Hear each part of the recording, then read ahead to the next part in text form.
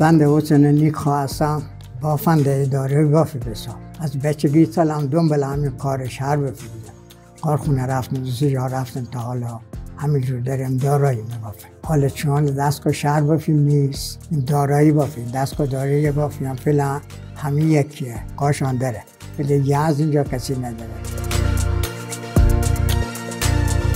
من محمد رضا خجسته فرزند مرحوم آچخل خجسته تحصیل کرده رشته نساجی از آلمان هستم. دارایی به پارچه تلقی میشه که قبل از اینکه بافته بشه طرحش روی نخهای تارش رنگامیزی میشه. اسم اصلی دارایی ایکاته. ایکات هم مخففه یه لغتی به نام منجیکات. منجیکات به معنای بستنه. وقتی می‌خوان تارهای دارایی را رنگ بکنن باید در بخش های مختلفش با لاستیک ببندنش که رنگ بعضی جا نفوذ بکنه بعضی جا نفوذ نکنه. چون فعل انفعالات بستن صورت می‌گیره لغت منجیکات را استفاده کردن به مخففش ایکات ولی ما در یزد بهش میگیم دارایی چون در قدیم جز منسوجات به اصطلاح فاخر بوده.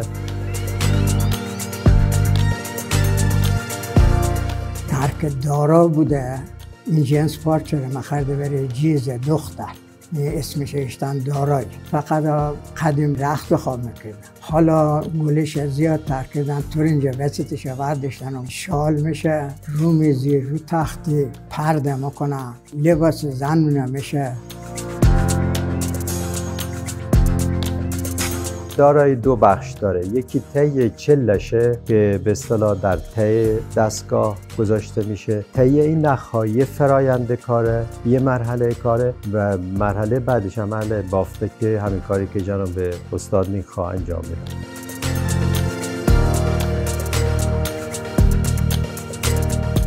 سختترین بخش این کار رنگ ریزشه نزدیک پنج هزار نخه. اینا باید تکه تکه رنگ کنن و خوشی و دوره کوپ کنن بیاره اینجا اینجا که بردن این بار ما دونه دونه نخورا سر هم پیوان بزن من نمونه هایی را دارم که حالا متاسفانه اینجا نیست که من نشون شما بدم چون میراث از من خواسته که اینا نگهداریش بکنم. یه سرو خیلی قشنگی را با دوتا تاووس روی یه پرده ای در آورده و واقعا از نظر رنگامیزی اینایی که بدونن کار چاپ نیست یا شابلون نیست که این کار انجام بده بلکه با بستن نخ و رنگامیزی تونسته این شکل و شمایل را در پارچه چکا بکنه ایجاد بکنه.